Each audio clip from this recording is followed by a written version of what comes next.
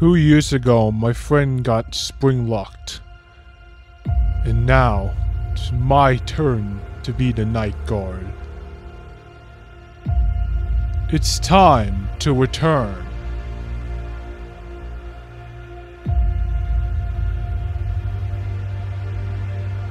It's time. And finish what he started.